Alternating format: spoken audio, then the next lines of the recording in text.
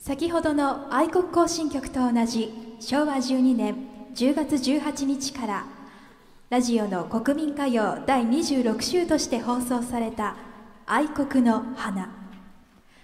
この作品は渡辺浜子さんの歌唱で大ヒットし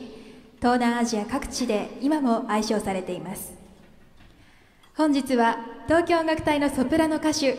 三等階層三宅ゆかりの歌と二等階層太田沙子のピアノでお楽しみください。